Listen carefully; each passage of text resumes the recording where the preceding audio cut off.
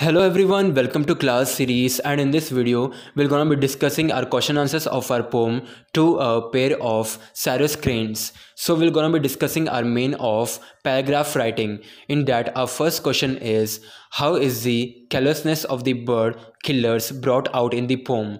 The answer of this question is first point poem brings out a contrast between birds and hunter Second point, male bird is necking. The word can be interpreted in two different ways. Third point, hunter shoots down a bird and picking it up throws it into a washing bag. Fourth point, birds are very graceful and beautiful, but the hunter treats them carelessly. Fifth point, hunter goes away, but the female bird stays there. Now we come to the paragraph of this answer. The paragraph goes as the callousness of the hunters is brought out in the way the poet describes killing of a male Sarus bird. It was shot when the bird had dipped its beak in the water. It seemed like it was trying to pull the reluctant sun out of the water at the rim of the horizon.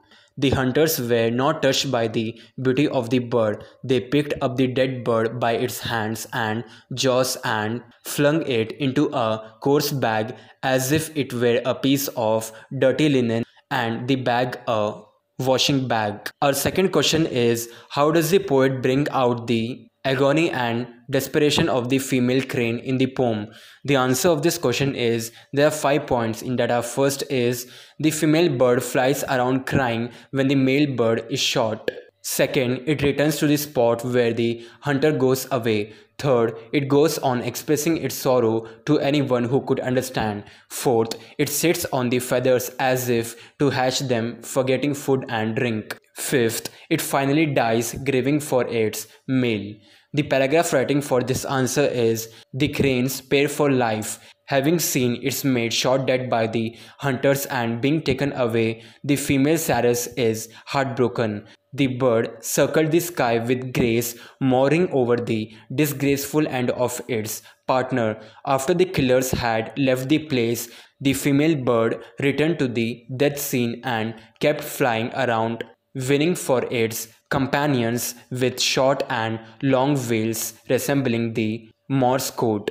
With her beak, she kissed and blood-stained feathers of her mate which the wind had not yet carried away and sat down to hatch them in the hope she could bring him back to life. This shows the agony and the despair of the bird. Our third question of this main paragraph writing is Pick out any two figures of speech used in the poem and explain how they add to the effectiveness of the poem. The answer of this question is the first stanza of the poem contains a figure of speech which is the hyperbole which is used to highlight a particular point through exaggeration. The male Sarus crane is shown as if it is stretching its neck to pull out the sun from the rim of the horizon. It is shown to be engaged in its impossible act and yet the very attempt to do it shows the courage of the crane. However, the bird was no match for the cunningness and heartlessness of man.